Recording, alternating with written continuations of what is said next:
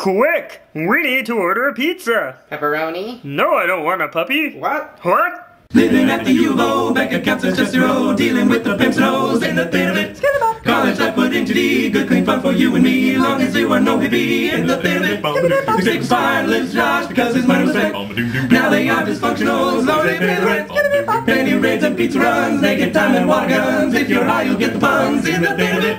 In the thin of it. You see? You see what happens when you mess up my trip to the Alps? Don't try to talk your way out of this. What in the name of Teenage Mutant Ninja Turtles are you doing? Look what he did to my energy bar. Bites everywhere. How can I ski with no protein? I didn't know you ski. Well, I never will. Now. Hey, McStick, have you seen Napoleon? I can't seem to find. Oh my god.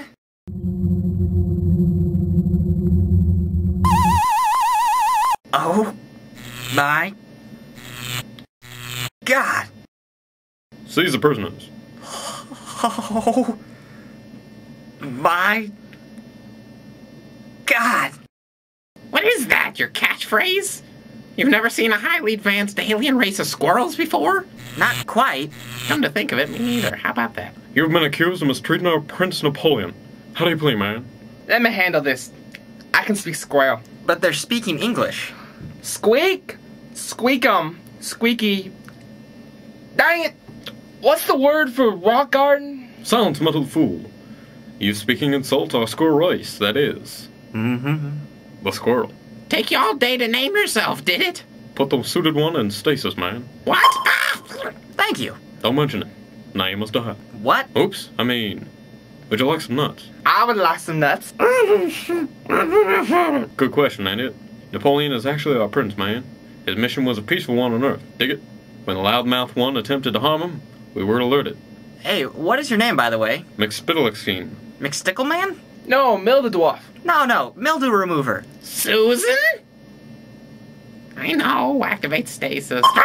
Can we have one of those things? You're gonna have to die first, man. Are- Are you offering us nuts again, or threatening us with death? The second one. Hey, um, why is there a giant donut outside? Isn't that space?